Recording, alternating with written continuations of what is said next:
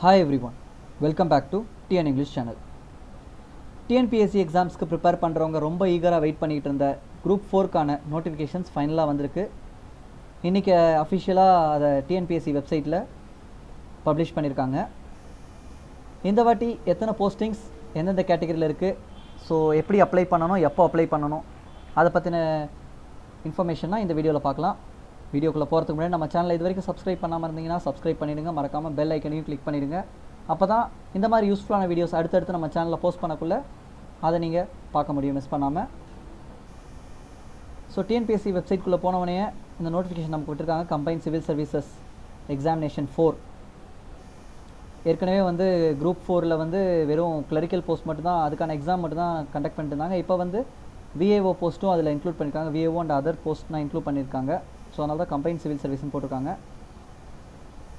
So இதுக்கு நம்ம apply பண்ணோம்னா ஃபஸ்ட்டு வந்து ஆன்லைன் மோடில் தான் ரெஜிஸ்டர் பண்ணணும். ஸோ ஆன்லைன் ரெஜிஸ்ட்ரேஷனுக்கு ஒன் டைம் பேமெண்ட்டாக வந்து ருபீஸ் ஒன் ஃபிஃப்டி நம்ம பே பண்ணணும் அப்படின்னு சொல்லி சொல்லியிருக்காங்க.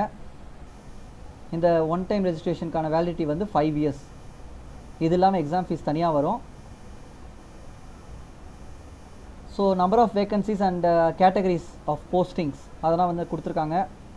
விஏஓ போஸ்டிங் வில்லேஜ் அட்மினிஸ்ட்ரேட்டிவ் ஆஃபீஸருக்கான எத்தனை போஸ்டிங் அப்படின்னு சொல்லி பார்த்தா எத்தனை வேகன்சினா three hundred ninety seven vacancy junior ரெசிடென்ட்க்கு வந்து two thousand six eighty eight vacancies அதில் வந்து ஜூனியர் ரெசிடென்ட் ஃபார் செக்யூரி அதாவது செக்யூரிட்டி கேட்டகரியில் வந்து one naught four bill collector grade ஒன்க்கு வந்து தேர்ட்டி ஃபோர் வேகன்சிஸ் சொல்லியிருக்காங்க.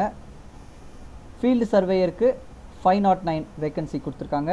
டிராஃப்ட்ஸ்மேனுக்கு செவன்ட்டி ஃபோர் வேகன்சி டைப்பிஸ்ட்க்கு வந்து thousand nine hundred and one vacancy steno டைப்பிஸ்ட்டுக்கு seven hundred and eighty four so all டுகெதராக six thousand four ninety one vacancies இந்த வாட்டி கொடுத்துருக்காங்க. இதில் எல்லாமே carry forward வேகன்சிஸும் இன்க்ளூட் ஆகிருக்கு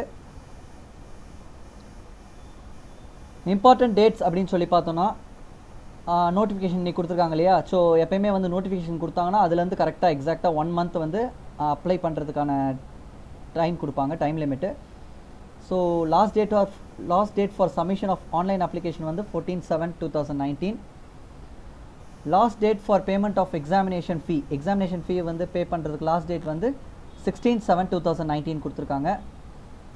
Date and time of the written எக்ஸாமினேஷனும் கொடுத்துருக்காங்க. அதாவது one nine two thousand nineteen அன்றைக்கி morning ten o'clock to one PM வந்து எக்ஸாம் நடக்க போகுது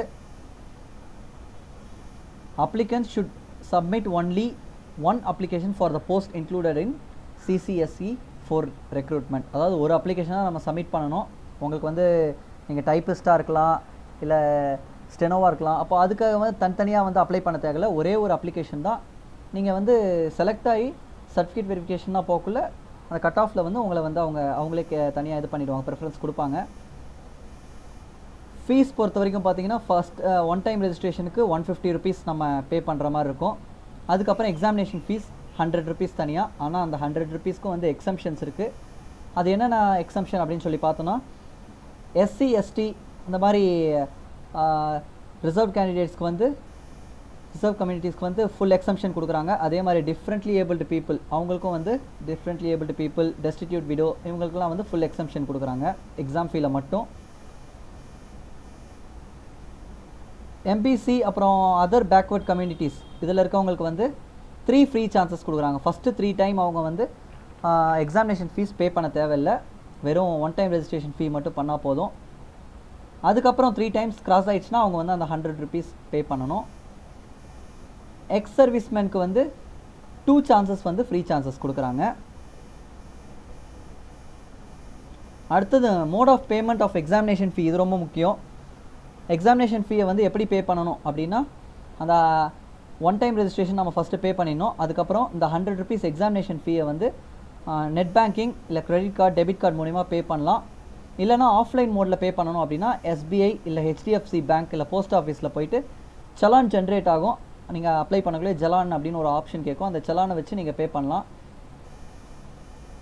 Applicants can avail exemption from paying examination fees as per eligibility criteria நீங்கள் eligibility criteria மூலிமா exam fees வந்து exemption வாங்கலாம்.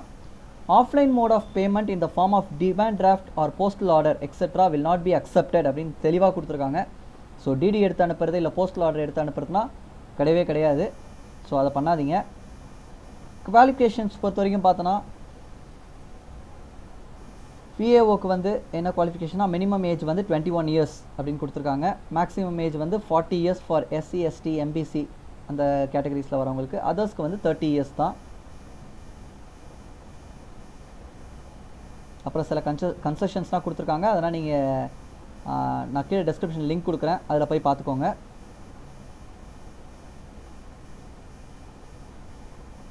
ஸோ இதில் வந்து மற்ற டீட்டெயில்ஸ்லாம் நமக்கு கொடுத்துருக்காங்க. இம்பார்ட்டன்ட் நோட் ஒன்று கொடுத்துருக்காங்க. என்னென்னா all the eligibility criteria for the claims of educational qualification or technical qualifications including the publication of results and claims towards special reservation to differently able persons destitute widows and ex service man should be as on the date of this notification எல்லாமே அந்த date படி கரெக்டாக இருக்கணும் அப்படின்னு சொல்லியிருக்காங்க அந்த குவாலிஃபிகேஷன்ஸ்லாம் meet ஆகணும் அப்படின்னு சொல்லியிருக்காங்க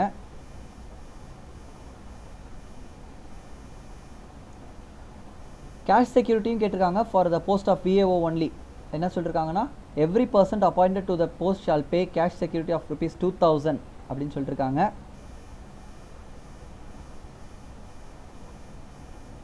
ஸோ ஸ்கீம் ஆஃப் எக்ஸாமினேஷன் தெரிஞ்சிருக்கும் டிஎன்பிஎஸ்சிக்கு ப்ரிப்பேர் பண்ணுறவங்களுக்கு ஸோ ஜென்ரல் ஸ்டடீஸில் வந்து செவன்ட்டி ஃபைவ் ஐட்டம்ஸ் வரும் aptitude and mental ability test அதாவது மேக்ஸ் ரிலேட்டடாக டுவெண்ட்டி ஃபைவ் ஐட்டம்ஸ் வரும். General English or general Tamil நீங்கள் எதை சூஸ் பண்ணுறீங்களோ அதை பொறுத்து ஒரு ஹண்ட்ரட் ஐட்டம்ஸ் வரும். So all twenty I two hundred items two hundred ஐட்டம்ஸ்னா two hundred questions three hours duration maximum marks three hundred minimum qualifying marks for selection வந்து 90 தான் போட்டிருக்காங்க. ஆனால் கட் ஆஃப் எவ்வளோ வருதோ அதை பொறுத்து தான் வந்து செலெக்ஷன் ப்ராசஸ் பண்ணுவாங்க. எக்ஸாமினேஷன் சென்டர்ஸ் வந்து உங்களுக்கு வந்து லேட்டர் வந்து ஹால் டிக்கெட்டில் வந்து அவங்க இன்டிமேட் பண்ணுவாங்க. ஸோ அதான் சொல்லியிருக்காங்க so other general informations instructions எல்லாமே கொடுத்துருக்காங்க. அதனால் நீங்கள் கீழே நான் லிங்க் கொடுத்துருக்கேன் அதில் போய் நீங்கள் பார்த்துக்கலாம். So all the very best for the candidates preparing for TNPSC exam